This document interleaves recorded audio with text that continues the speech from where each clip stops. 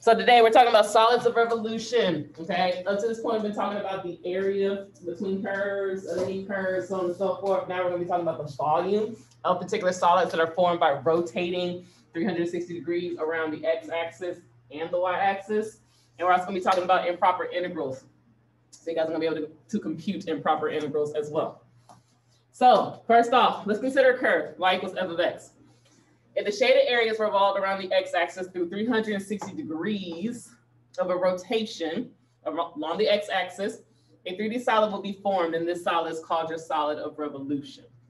Now, to go about calculating the volume of this particular solid, you have you can think of it as it being made up of, of very thin cylindrical disc, right? Like if we were, if we actually had like a physical uh, a physical shape of what was created through that revolution that you guys saw the animation of, and we were to cut it into very, very, very small disc, right? To Like slice through it. They basically would be cylinders, okay? Where the radius of each of those, each of those discs would be the value of the function.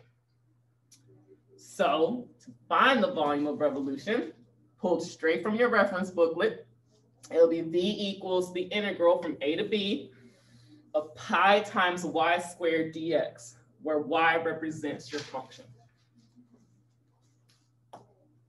So essentially what you have is that if you were to slice this, you are creating a disk, a very, very, very thin disk, right? That's created from your curve that's being rotated around your x-axis. And here's your x-axis, okay?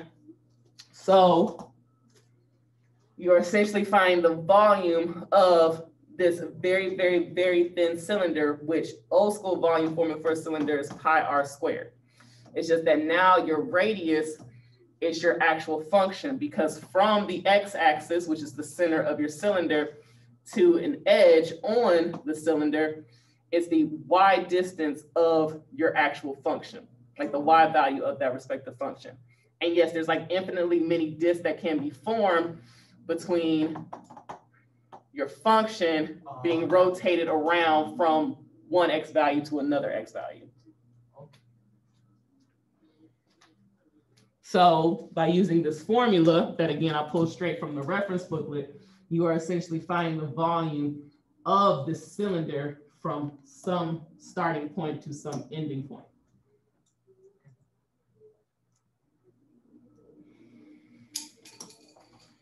Let's take a look at an example. So we're going to find the volume of the solid formed when the graph of the function y equals x squared for zero, um, x is greater than zero, um, but less than five is revolved through two pi about the x-axis. First off, two pi is the same thing as 360 degrees. So it's basically saying it's it's a normal revolution creating that cylindrical solid. So you're going to use again the formula for volume, which is from A to B of pi y squared. Oh, What's the dy? No dx. I think that's what it was. Okay, remember pi is nothing but a constant, so you really could just pull that out. And this becomes pi, the integral from zero to five of your function, because remember, y represents your function. So that's going to be x squared. You're going to square it dx.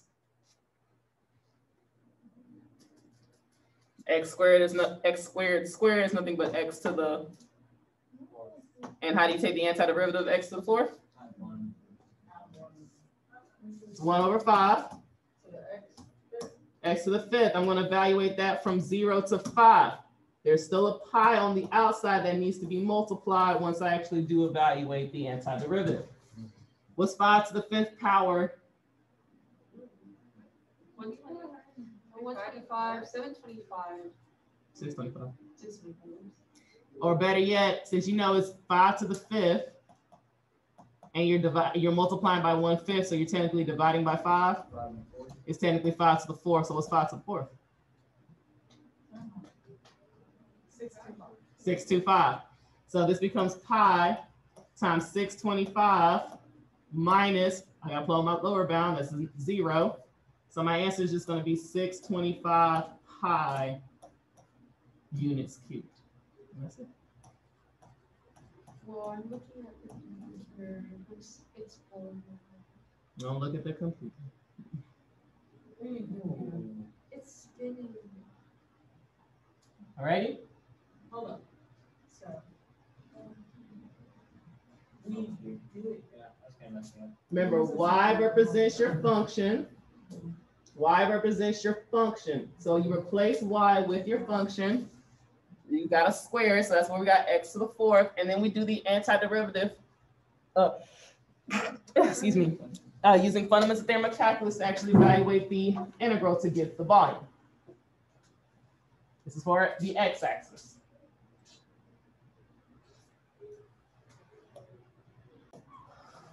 Now, if the function is invertible, okay, it has an inverse, just like how we did when we found the area between the curve and the y-axis, we can do the same thing for volume, okay? The difference, it, like to be honest, is the exact same function. It's just the difference is you want to make sure that your function, you plug in the inverse, okay? So just like how we did when we were doing the area between the curve and the y-axis, we're going to take the function, solve for x, and then that gets plugged in here. So x represents the function, just like how y represented the function when we were rotating around the x-axis. So let's look at this example. I have the graph of y equals ln of x, where x is between 1 and e, inclusive. This time it's revolved through 2 pi about the y-axis. This time we're the y-axis. We're going to find the volume of revolution. So again, similar to when you were finding the area between the curve and the y-axis, you want to make sure your function is in terms of y instead of x. Right now it's in terms of x. I need to get it in terms of y. So I essentially need to solve for x. Say what? Exactly. I raise both sides to the e or put e on both sides. Remember, e to the ln cancel out. So e to the y is equal to x. There's my function. There's just one other thing I also need to change. Okay? My bounds are with respect to x. My bounds need to be with respect to y. So what do I do? You just plug them in. What's the ln of one? Zero. What's the ln of e? One. So my bounds, my lower bound is zero, my upper bound is one. So to find my volume for this invertible function, as it's rotating around the y-axis, it's gonna be from zero to one, pi times my function. This time is with respect to y. So it's gonna be e to the y squared dy.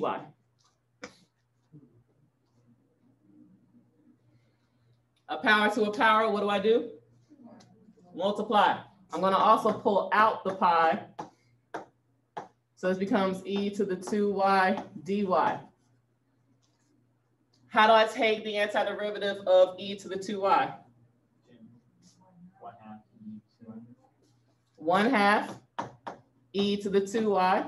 I'm gonna evaluate that from zero to one. Don't forget, there's still a pi on the outside. One thing that I still have difficulty with is always forget about the pi when I'm doing volume. So don't forget about your pi. Make a note. Don't forget about your pi.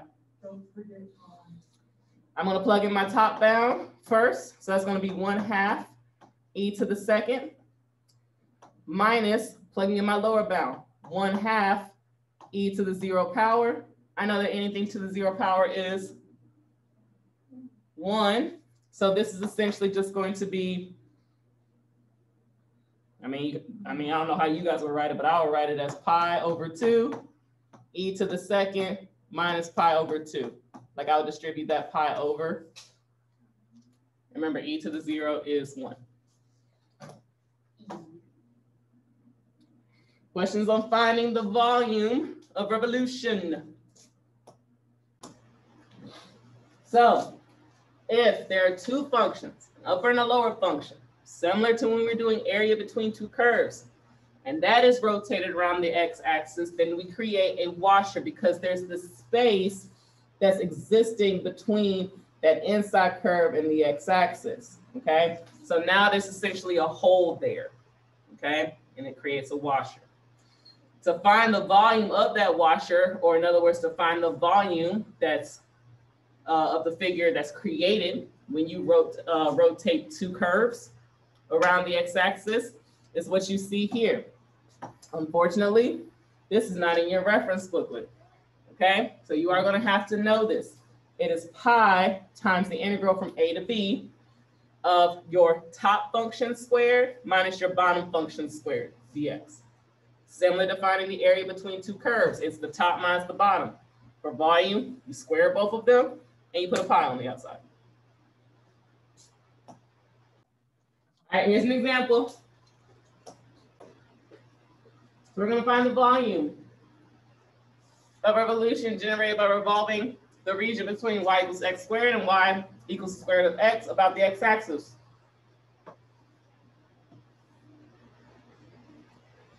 As we know, y equals x squared looks like a what? That has a vertex at zero, zero, and then one, one, and then two, four, so on and so forth. What does um square root of x look like? And it starts at zero, zero. Its next point is at one, one, and then this next one's not until four, two, correct? So here is the, the part that they're gonna be rotating around the x-axis. And so to find the volume, uh, it's gonna be pi times the integral from what to what? What's the start of it? And the end? One. So it needs to be your top curve squared minus your bottom curve squared. Which one's on top? So it's gonna be square root of x squared minus your bottom curve, x squared, squared, dx. All right, I want you guys to work this one out. Leave your answer in terms of pi.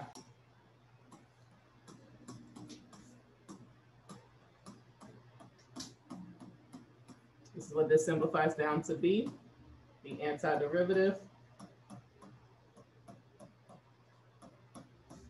That has to be evaluated from zero to one. Again, don't forget this little a pi on the outside because we are talking about volume. Upper bound minus lower bound, and you get three pi over 10 units cubed. Wait. Hmm. Now I'll talk about improper integrals. It actually incorporates a old concept. An improper integral, or integral is improper if one of the following is true. The functions being integrated, the function being integrated approaches zero, um, infinity or negative infinity for one or more points on the domain. Or if the integral is of one of these forms that you see listed below.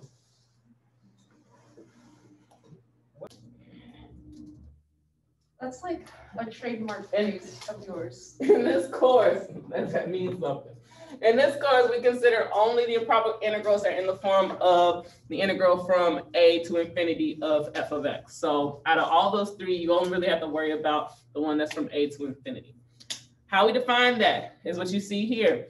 It is the limit as b approaches infinity from a to b of your function.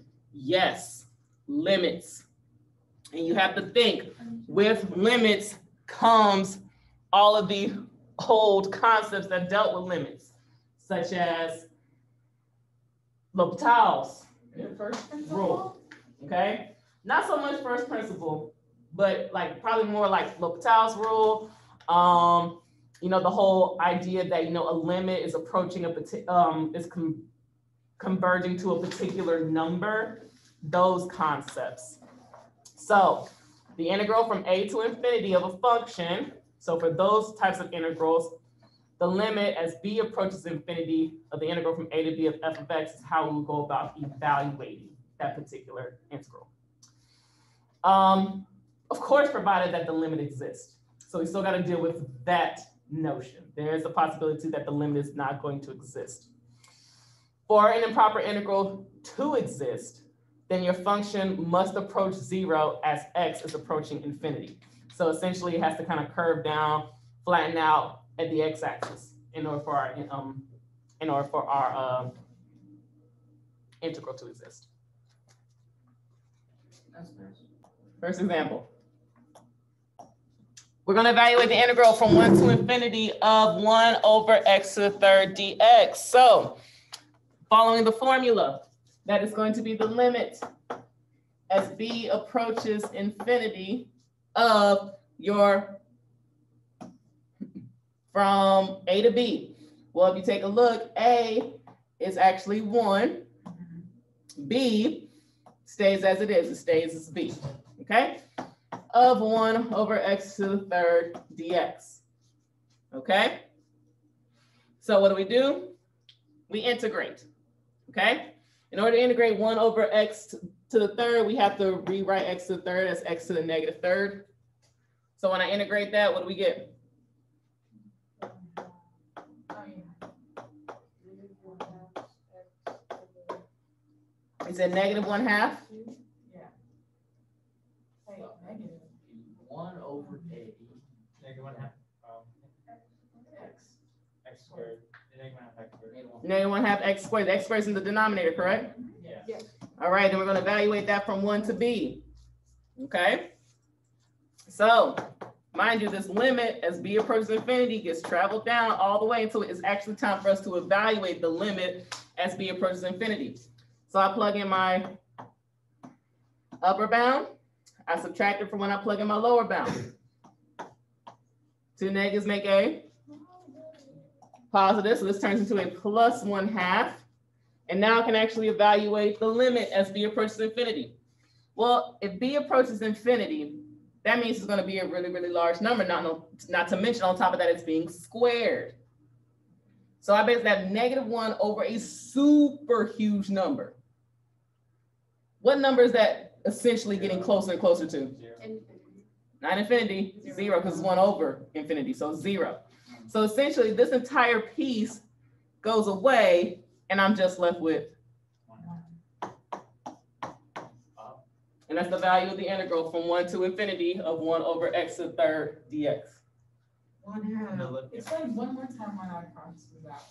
Because as you evaluate the limit as b approaches infinity, so in other words, as b gets really, really large, right? A really large number, let's just say ten thousand.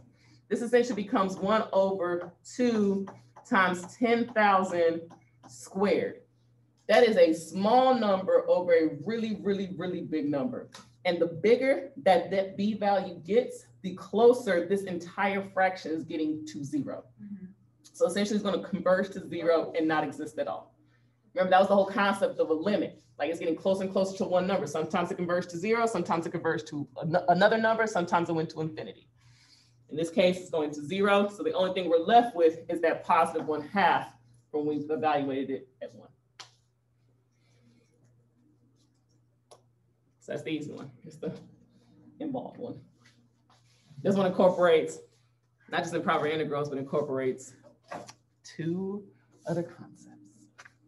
So we're gonna evaluate the integral uh, from a to infinity of x e to the negative d, negative x dx for any constant of a. A is any real number. What makes this on the hard level is the fact that a could be any number. It's not like the last problem where a was one, and then we were able to actually, you know, to work it out that way. In this particular case, we're gonna get an expression for our integral versus a value. Alrighty, so let's do this.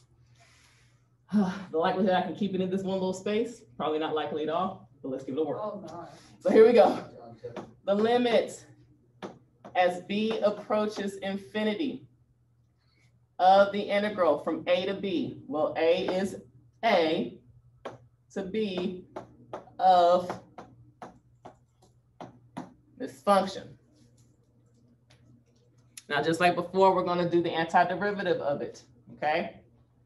But in order, in order for us to do the antiderivative of x e to the negative x, what am I gonna have to use to do that? Mm, which one? Integration by parts. It's gonna be integration by parts. So in order for me to take the antiderivative of this, I need to do integration by parts. So that's u and v prime. What's u going to be? So that means that uh, AB is. e to the negative x. What's the derivative of x? Uh, x, one half x squared. No, wait, um, Derivative, one. just one. So it's gonna be one dx. And then what is the antiderivative of e to the negative x? Negative b to the negative x. Very good. So applying my integration by parts, I still have the limit as b approaches infinity. But now I'm gonna have, it goes, oh God, it goes u v mm-hmm. minus e prime du. No, I think it's It's V, V, like regular V. And then. I don't think we ever use prime, I think it's Where, V. no, I think it's Yeah, U V and then prime. V prime. Wait, what is? You know what? Oh, oh, oh. because it's a. Yeah, that looks right, that looks right. All right. right, I think, yeah, actually, yeah, this, yeah, this is how it goes, this is how it goes. So now I'm gonna have negative x e to the negative x to represent that u times b minus the integral that's still from a to b of the du. Now, one thing I do need to also include that I didn't leave a space for, so I'm gonna have to erase this and rewrite that back end. I still gotta evaluate this first part from A to B. So minus integral from A to B of negative e to negative x dx. Still need to evaluate this from A to B, this first part. So they would say the antiderivative of that, but I still got the integral of this over here. No parts for this integral. What's the antiderivative of negative e to the negative x? E to the negative x. e to the negative x.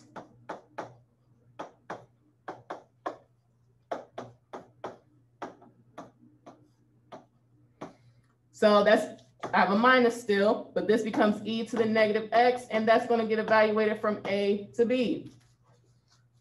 So I've taken care of the integration part by applying integration by parts. And now I can apply my fundamental theorem of calculus.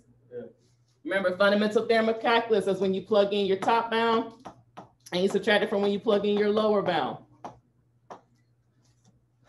I still have this limit as b approaches infinity. Not gonna make it. Top bound, that's negative b, e to the negative b, minus my lower bound. Since it's already a negative, that turns to a positive, a, e to the negative a.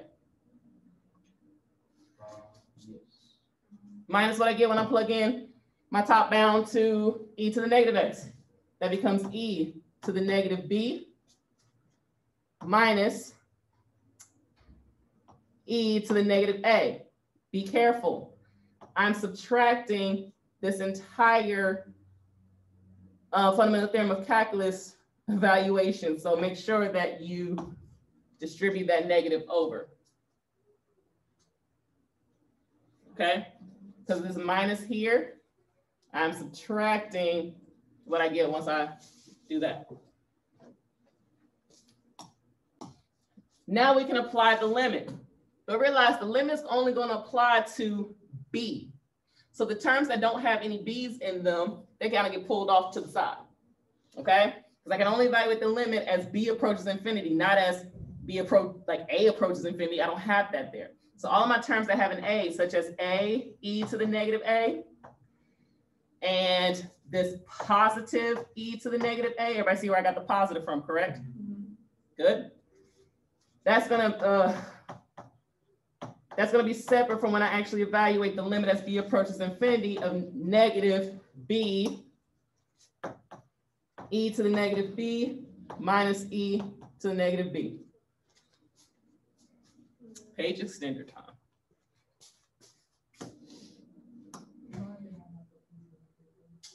Okay. Well, this next part, if you kind of want to watch it, then you can write down what you need to. All right. The first two terms I can leave alone because there's nothing else I can do with them. Okay. I can't simplify them anymore. I mean, I could factor out e to negative a, but why? I'm not going to change anything. Okay. But over here, I do need to evaluate the limit as b approaches infinity. I'm going to do something. and it's gonna help it make sense. Okay? Since both of these terms have a e to a negative b in common, I am gonna factor out over here. That's gonna leave me with a negative b minus one. Is everybody still with me? And this is still as the limit as b approaches infinity. A negative exponent means what? It's unknown, there's a denominator. I want to write it that way. With a positive exponent now. This makes it a lot easier to evaluate the limit. Now, when I evaluate the limit as b approaches infinity, I get infinity over infinity. Who remembers that when you get, yep. L'Hopital's, yes. I apply L'Hopital's rule because since I have a limit that gives me infinity over infinity, I can't have that. So L'Hopital's rule says I need to take the derivative of the top and the derivative of the bottom and then try again. It's like, I mean, that's, I mean, that's pretty much how I look at it. It's like, it don't work, do it again. Okay, so still the limit as b approaches infinity. What's the anti, mm, mm-mm. What's the derivative of the numerator? Negative what? Negative one. And what's the derivative of e to the b? Now, when I apply the limit as b approaches infinity, I don't get infinity over infinity anymore. Uh-oh. I get negative one over infinity, Is that another one? which equals what? Zero. So this entire term is gone. So then my final answer for the integral as a from a to infinity of x e to the negative x dx was that expression that we pulled out a few lines ago. That was ineffective. Oh my gosh.